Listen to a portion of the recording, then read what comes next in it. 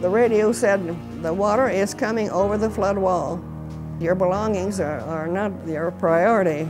Get out and save yourself. It made us strong. We use that term a lot.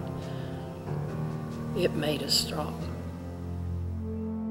Our area was just one of a thousand that was being hit.